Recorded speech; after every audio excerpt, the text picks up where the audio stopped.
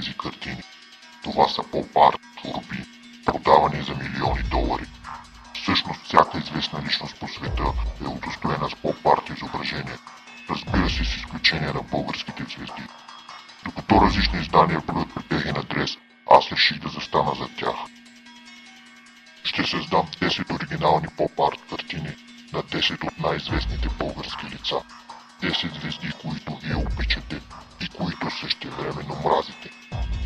10 лица, които плюете и едновременно копирате. Всяка седмица ще представям по една картина. Някои от картините ще бъдат инкрустирани с кристали Сваровски, други ще крият себе си истини, а трети ще бъдат нарисувани със собствената ми кръв. Не правя това, за да бъда известен. Всъщност, никога няма да видите лицето ми или да разберете името ми. Нямам артистичен псевдоним. За вас ще бъда човека без име. Кой съм аз всъщност не е от значение.